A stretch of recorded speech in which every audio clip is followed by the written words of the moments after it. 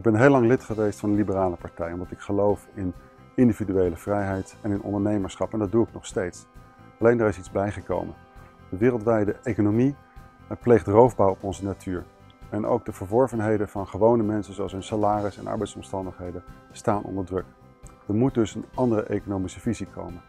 En dat vertrouw ik de PvdA toe. De PvdA is een volkspartij en heeft sterke denkers. En ondanks dat er in de dagelijkse politiek wel eens beslissingen zijn van de Partij van de Arbeid waar ik het niet mee eens ben, zie ik dat ze aan die nieuwe economische visie bouwen.